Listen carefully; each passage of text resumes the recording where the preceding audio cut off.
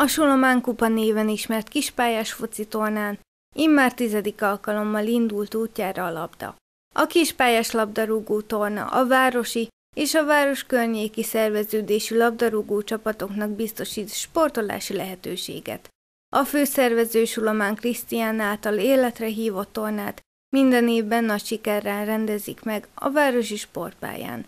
A foci torna közösségépítő szerepe meghatározó, hiszen évről évre visszajárnak a csapatok, és egyre több gyerek is látogatja a családias jellegű rendezvényt, ahol a szokásos megvendégelésen felül mára már a csapatok napközben is sütnek-főznek maguknak.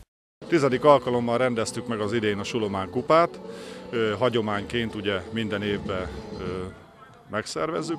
Tíz csapat jött az idén össze, két csoportra osztottuk a csapatokat, a a két ötös csoport, mindenki játszik mindenkivel, aztán az első két helyezett jut tovább, amiből az első helyezett a második helyezettel, a másik csoport második helyezettel, az első csoport első helyezettével fogja játszani a döntőbe jutást, és aztán pedig a döntő következik. Ez a rendezvény igazából már családias hangulatban zajlik, mert évről évre visszajárnak a csapatok hozzánk, hál' Istennek. Ugyebár mert ilyenkor elég nehéz megszervezni, mert ugye mindenki nyaral, mindenki oda van, üdülnek az emberek nyár közepén, de hál' Istennek ezt az időpontot általában mindig megtartják a csapatok, és szívesen jönnek el hozzánk ide a sportpályára, erre a Suromán kupára.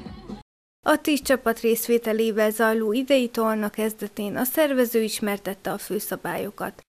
A küzdelem két pályán zajlott, ahol a tíz csapat két csoportra osztva küzdött a dobogós helyekért.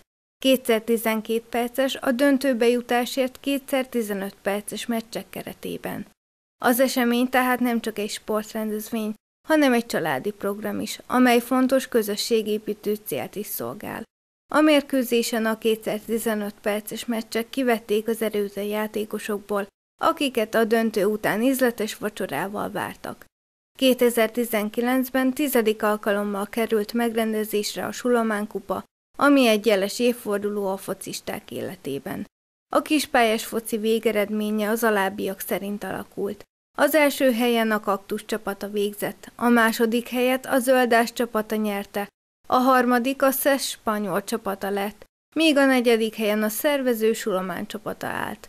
A szívvel és elkötelezett kitartással rendezett torna idén is jó hangulatban telt, nagy sikerrel és éremesővel zárult. A csapat érmes helyezéseken felül díjazták a legjobb kapust, azaz Nagy Andrást, és a legjobb mezőnyjátékost is, aki Matejkó Gábor lett.